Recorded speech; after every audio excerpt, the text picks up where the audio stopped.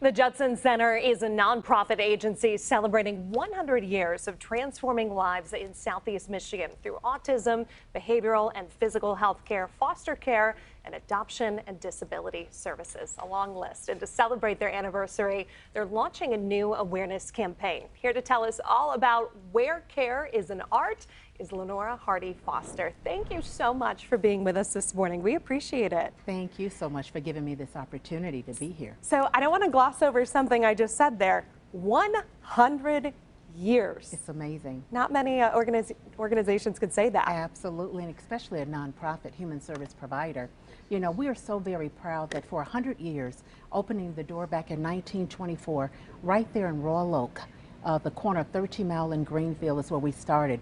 And to see where we are today, 100 years later, and the things that we've been able to accomplish. You know, so we have, uh, we provide services in addition to foster care and adoption. We have a complete integrated care model that consists of behavioral health, uh, be, uh, primary health care and substance use disorder.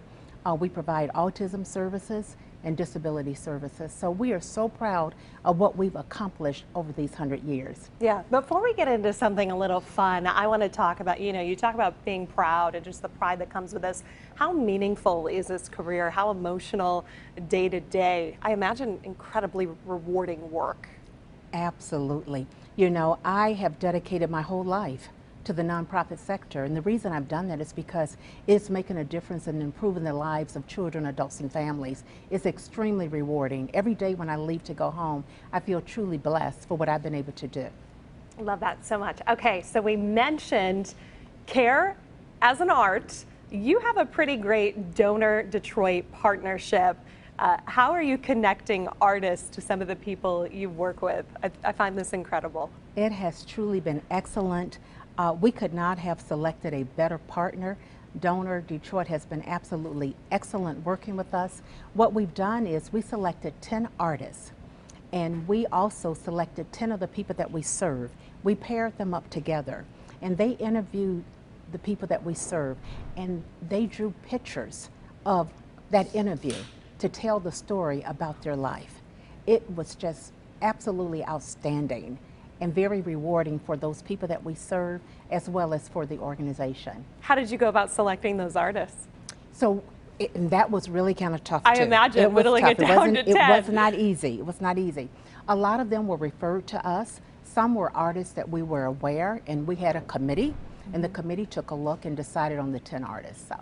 Okay. How were those uh, drawings revealed to them? Was it right on the spot, turning it around? Was that captured on video? It's on video. We have a video that, oh yes, the video is absolutely wonderful. And matter of fact, that's what we will be doing all this year. So for this centennial year, we're really going around the city of Detroit and other areas, and the art is on display.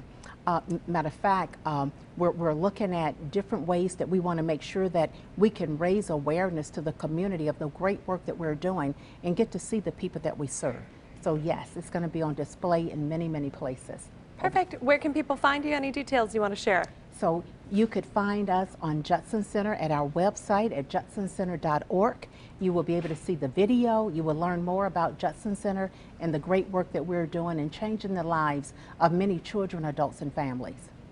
Thank you so much, Lenora Hardy Foster. We appreciate your time this morning. Thank you so much.